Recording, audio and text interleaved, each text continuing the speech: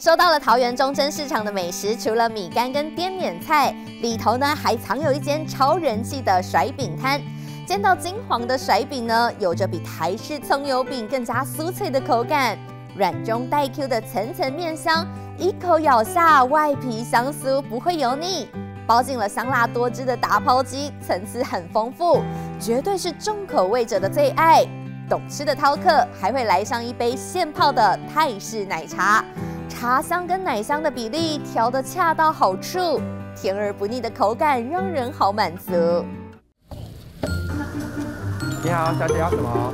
一个奶油炼乳吗？好，那现采销外带。就算外头气温再低，桃园中正市场的这家甩饼小摊照样人气满满。假日的话。嗯，人潮都非常的拥挤，基本上你假日来的话，起码要等个十到二十分钟。尤其像今天它天气非常的寒冷嘛，这样吃一个热热饼，你会觉得说感觉暖在心中。我至少吃了二十几年油哦，它从以前在市场里面在卖的时候，我就已经有在吃了。然后后来迁出来这里的时候，离我工作地方很近，更常吃这样子，所以它是从我从小到大的回忆美食。肥泡泡的甩饼在火烫烫的热油里镀上闪闪金光，包进咸香够味的打抛鸡、咖喱豌豆，或是甜而不腻的奶油炼乳、巧克力 Oreo，无论卖相、口感都很讨喜。刚来买第一次，吃完之后又跑来买第二次，就是嗯觉得很甜，很适合吃完饭当点心吃。我有时候会当早餐吃，然后下午茶也会，就是可能去吃个米干完之后出来就会想吃一点甜的。饕客一吃就停不下来的美味，出自老板马伟伦的手艺。他熟练的擀饼皮、甩饼皮，层层卷起再压平，让甩饼更有层次。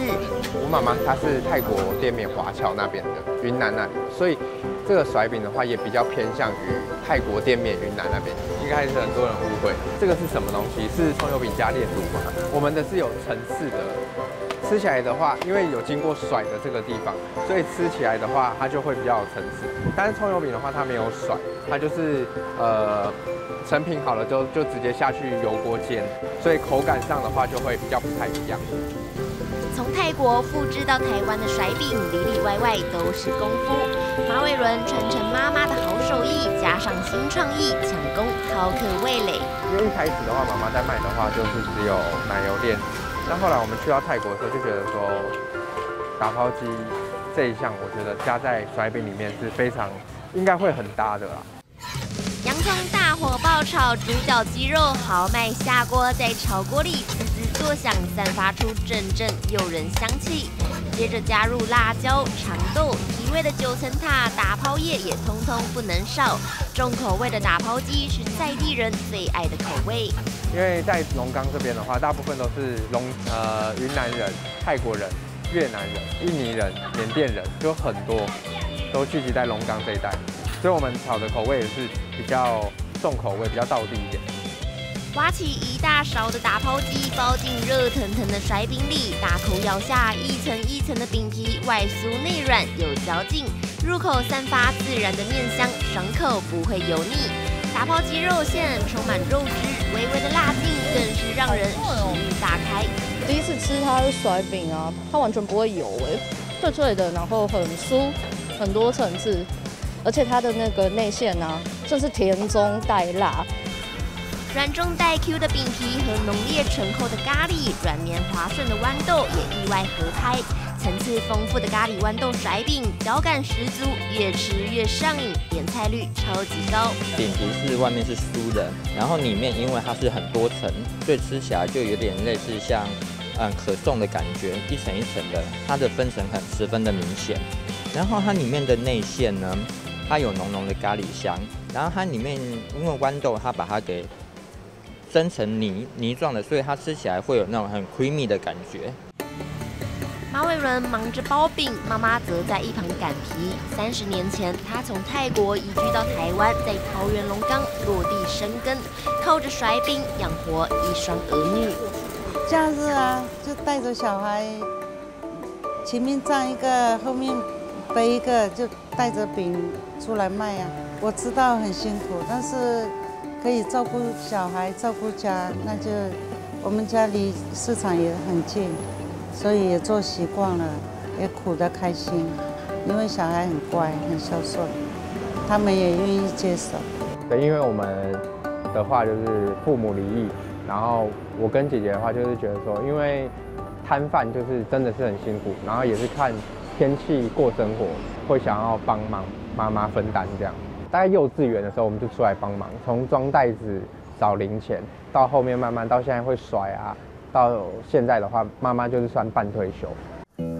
为了让妈妈可以好好休息，当同龄的朋友都在上大学时，她却将时间揉进一张又一张的饼皮里，闻着日复一日的油烟味。就是在高中的时候，其实呃要准备毕业了，很多同学都要去读大学。当然，我也很想读大学，可是就要去上课嘛，就没办法，就是说早上啊七点啊来这边，然后可能回家还要再做饼这样。因为像我从国中、高中我们读书的时候，我回到家就是去做做甩饼这件事情，然后就这样一路到高中。所以高中毕业我就觉得说要接下妈妈这个，因为她已经辛苦这么久了。这一切看在妈妈的眼里，除了心疼，也觉得欣慰。开心啊，很感动，也是很心疼他们，也有把我的一路来的辛苦跟他们讲。尤其我们在路边摊啊，风吹淋雨的，他们愿意吃苦这样子。如今母子俩一起在市场里努力打拼，不但让手中的甩饼变得更有滋有味，也有咸有甜。满满的 Oreo 饼干豪迈铺平，再淋上巧克力酱和炼乳，一起卷起来，大口一吃，甜蜜蜜的滋味在嘴里融化，不管大人小孩都很喜欢。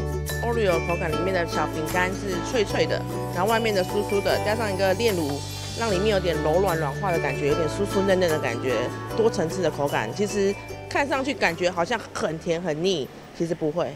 我要一杯泰式奶茶。同场加映的还有这杯滑顺不涩的泰式奶茶，茶香芬芳，香甜不腻。很多客人都会一卷甩饼配上一杯泰奶，幸福感满满。马伟伦和妈妈默契十足，两个人在摊子前配合的天衣无缝。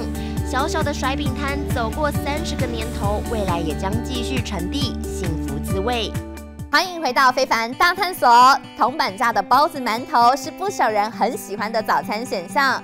新北瑞芳第一市场里头有一间专卖包子、馒头的小摊，特别的玫瑰造型馒头，艳丽的红色是用红曲米、红枣跟红酒来做成，不止卖相超级吸睛，吃起来扎实又 Q 劲，还带有淡淡的红曲香气。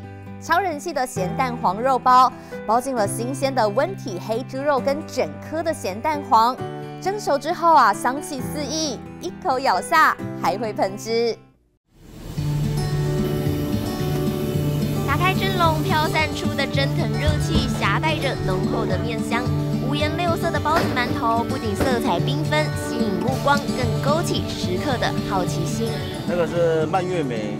然后这是那个红曲、红酒、红枣馒头，啊南瓜、黑芝麻，啊这个蛋黄肉包那边有蒸好的。